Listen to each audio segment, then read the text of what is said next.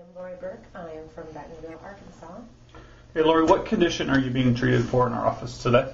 Lower back. Lower back pain. How long have you had that condition overall? Overall, um, about 30 some years. Okay. 30, 40, so- about 30 some years. All right. And so far, how has the treatment benefited you, and then, then what kind of experience have you had um, with your treatment? It's been great. Um, I could almost come here every day if I had the time.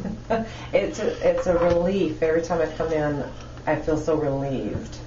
Okay. The pressure's gone, you know, for the day. Then, when, of course, when I go back to work and it's all over again. So you can stand at, at work longer and things like that? hmm yes.